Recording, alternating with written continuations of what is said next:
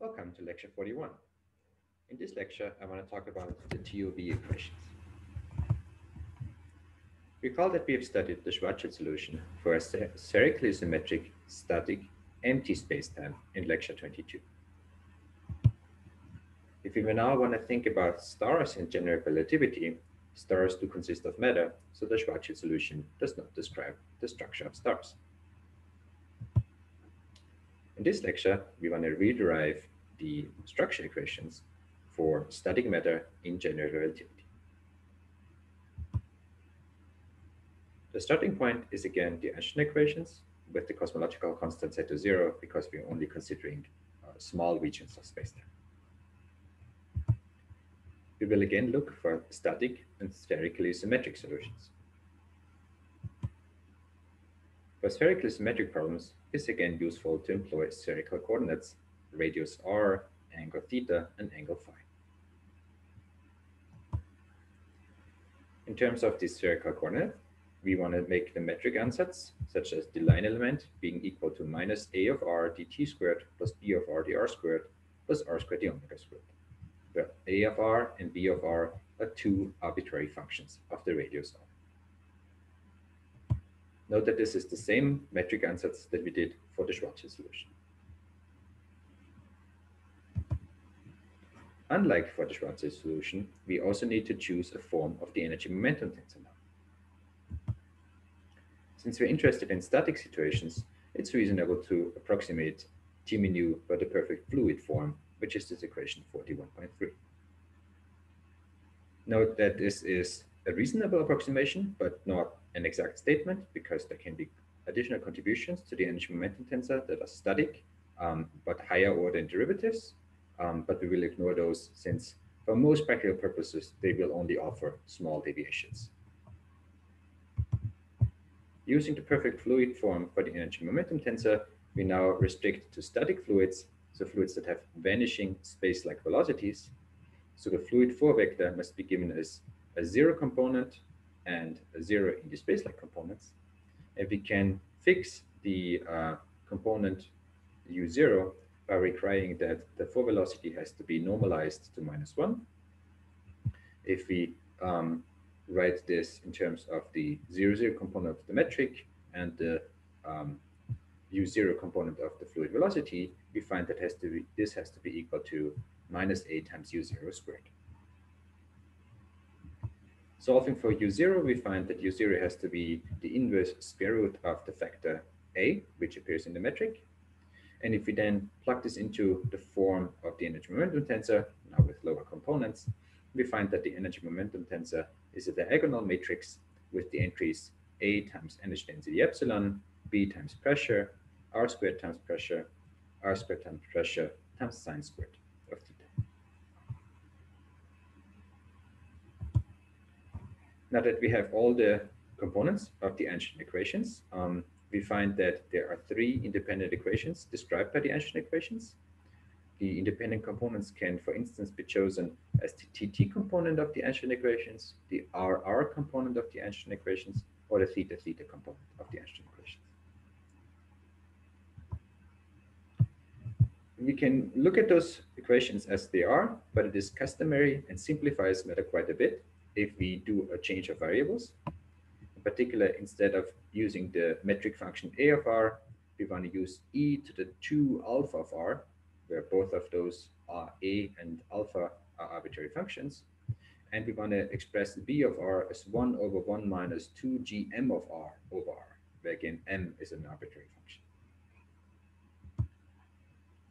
In particular, uh, there is a similarity between this function b of r and the solution that we got for our Schwarzschild solution, um, where m for Schwarzschild was a constant.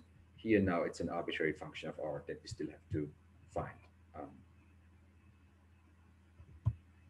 so in terms of these uh, new variables alpha and m, the tt and rr component of the Einstein equations then can be written in the following form.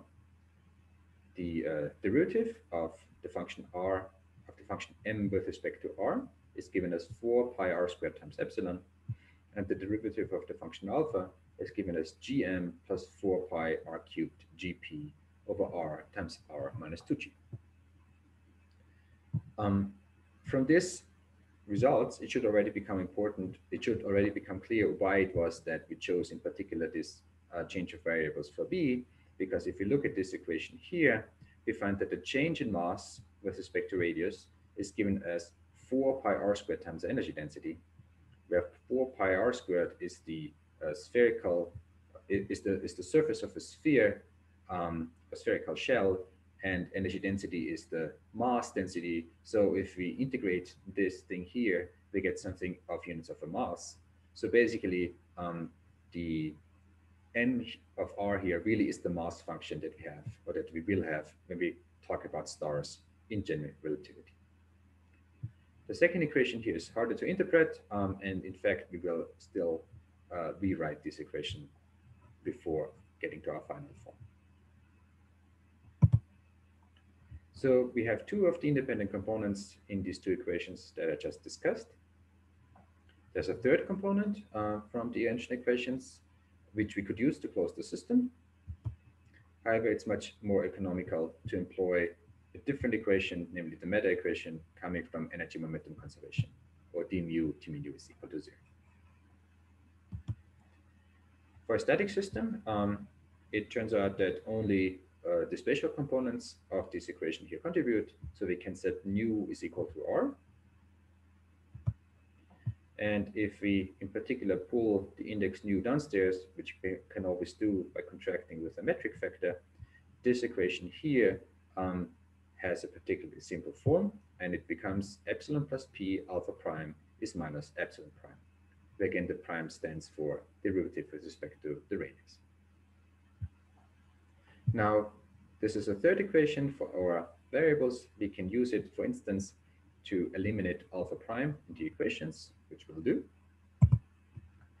So if we do uh, eliminate alpha, then we find a set of two coupled differential equations, uh, one for m and one for epsilon, that um, is describing the structure of stars that contain matter in general relativity. These equations are known as the Tolman, Oppenheimer, and Volkoff equations, usually abbreviated by the acronyms TOV. And they sort of um, constitute two equations for the three unknowns, epsilon, p, and m. So two equations here. We have three unknowns. So in order to close the system and actually get results for structure, we need to supplement them by an additional equation, such as the equation of state p is p of epsilon for matter.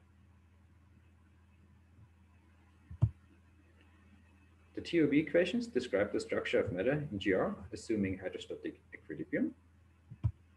And the structure of the stars will depend on um, the uh, particular matter that we want to describe. Uh, in particular, they will be different if uh, we want to describe ordinary stars, not the typo here, ordinary stars, uh, white dwarfs, or neutron stars. Because the equations are the same, it's just the equation of state that is different between these two different objects. Um, if we go ahead and solve the TOV equations, it will tell us also when a star's mass becomes too great for its pressure to be supporting its own gravity, such that uh, if the star becomes too massive, the star will no longer be stable and it will collapse into a black hole. So this will be subject of the uh, subsequent lectures where we discuss in particular the TOV solutions for neutron stars that concludes the present lecture.